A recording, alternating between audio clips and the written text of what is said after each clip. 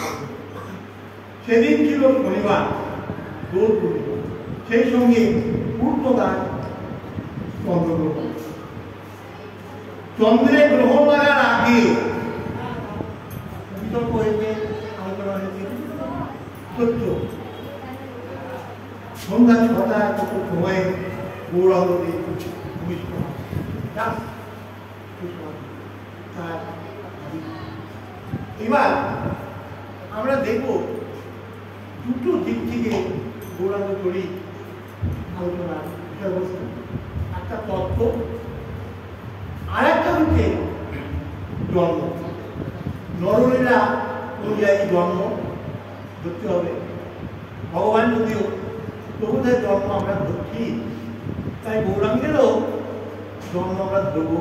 তাই দুটো ভাগে আলোচনার বিষয়বস্তুটাকে আমরা সাজিয়ে দিই। প্রথম দিকে আমরা সময়টা বলে দিলাম এই সময় গৌরবানন্দের হরি এই সময়টাতেই আবির্ভাব প্রথম হচ্ছে তার তত্ত্ব দ্বিতীয় হচ্ছে তার জন্ম। এটা মানবীয় আকারে। জন্ম যখন আছে তখন তার মানবের রূপ সেভাবে হবে আর তত্ত্বের দিকটা তাকে কীভাবে আমরা প্রতিস্থাপিত হয়েছি মহাজনরা, বৈষ্ণব যারা মহাজন, তারা সেটাকে উপস্থাপিত করেছে বিভিন্নভাবে। যেমন বিদগ্ধ মাধব গ্রন্থ সনাতন গোস্বামী আমরা জানি চৈতন্যদেবের নামে শিক্ষাস্ত বলে একটা আটটা শ্লোক তার নামে প্রচলিত। এবার এই যে গৌরীয় বৈষ্ণব ধারণা, এটা তার যে অনুবাদ ভক্ত রূপ সনাতন জীব এদের দ্বারা লীলা প্রকটিত বিভিন্ন তার পণ্ডিত, তারা বিভিন্ন গ্রন্থ রচনা করে মুক্তি রসামিত সিন্ধু উজ্জ্বল নীলমণি হরিভক্তি বিলাস, এই ধরনের গ্রন্থ যেটা বৈষ্ণব পণ্ডিত, সাধারণ পণ্ডিত নন্দা জীব গোস্বামী, হরিনামামৃত ব্যাকরণ। এই ব্যাকরণ আমাদের ব্যাকরণ নয়। হরিনামামৃত ব্যাকরণ। সুতরাং বৈষ্ণব তত্ত্ব ধর্মী তার মাধ্যমে লীলা প্রকটিত হয়েছে। বাংলা গ্রন্থ, চৈতন্য ভাগবত চৈতন্য বৃন্দামৃত বৈষ্ণব তত্ত্বের রসভাষ্য থেকে চৈতন্য এবং বিদগ্ধ মাধব ইত্যাদি ইত্যাদি। ভাগবত? শ্রীমন ভাগবত? থেকে বাইরে কিছু নয়। সব কিছুই চৈতন্যদেবের তত্ত্ব, লীলা প্রকটিত হয়েছে বিদগ্ধ মাধবের একটা শ্লোক।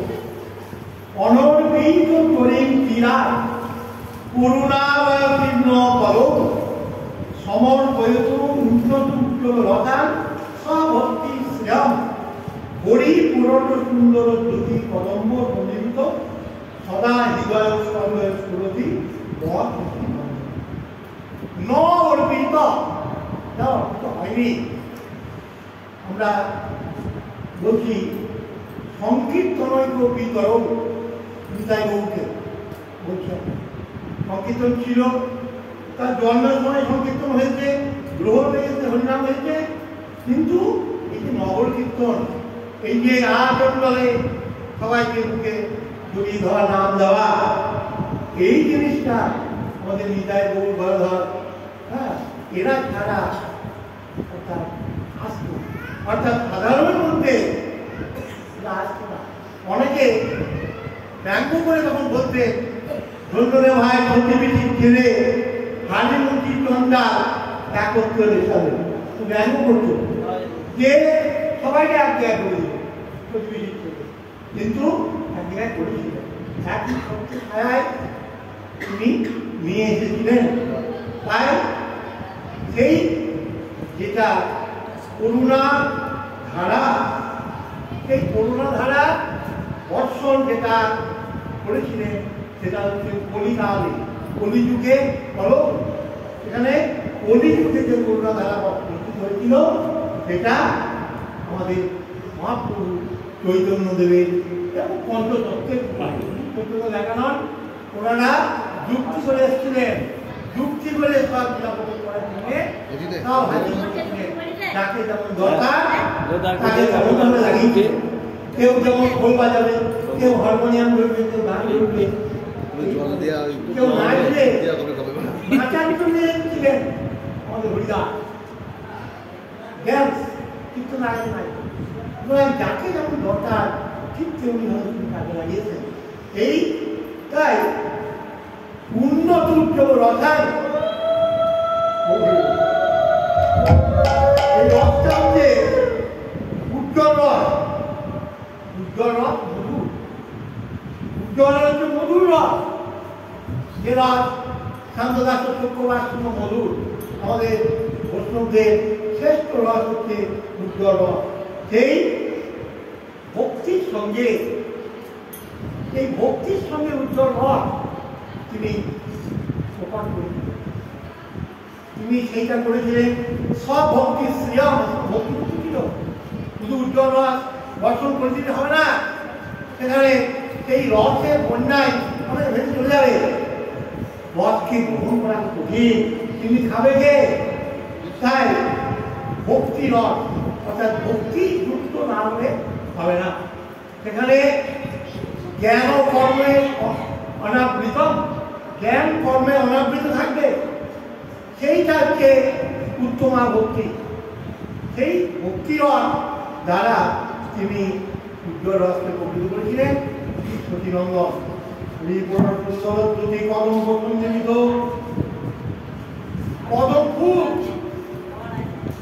সুন্দর দেশ একেবারে মুক্তি। সেটাই বলছেন সদা হৃদয় স্বরূপময় সেই সতীনন্দন আমাদের সকলের হৃদয়ে জাগ্রত হয়। প্রত্যেকের হৃদয়ে আমাদের হৃদয় বড় কঠিন। এখানে নরম করে দিয়ে স্নেহধারা প্রেমরস ধারা করে দিয়ে তিনি সেখানে ভক্তি রন সেই হচ্ছে বিরক্ত মাধ্যমে এবার, এক নম্বর কারণ হচ্ছে চৈতন্যের আবির্ভাবের নাম সংকীর্তন করতে জগৎ রথাচলে যাচ্ছিল ব্রাহ্মণদের হচ্ছে যাক ব্রাহ্মণদের যাগ যোগ্য, সাধারণ মানুষের অধিকার ছিল না, সেটা চলছিল সমাজে? এবং ধর্মান্তরীকরণ হচ্ছিল, বিভিন্ন ধর্মে তারা চলে যাচ্ছিল। এত কঠিন সাধনা করবে কে? সম্ভব নয়।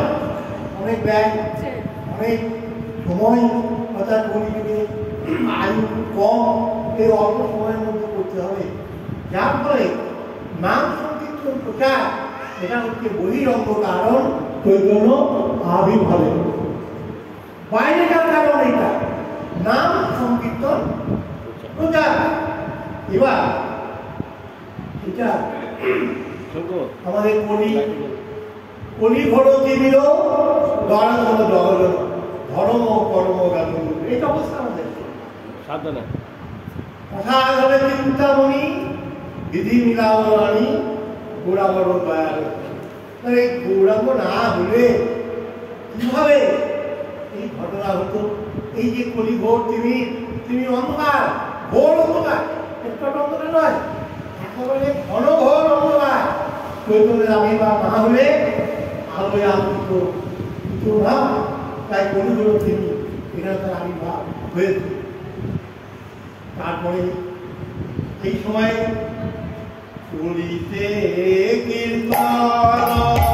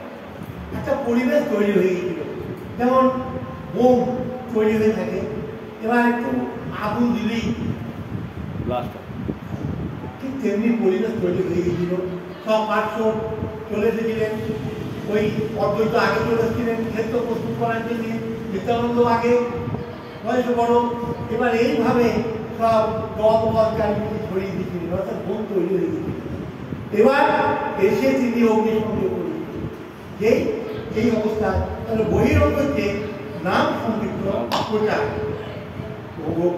কালে যুগ ধর্ম নামে লোকা কলিকালে যুগ ধর্ম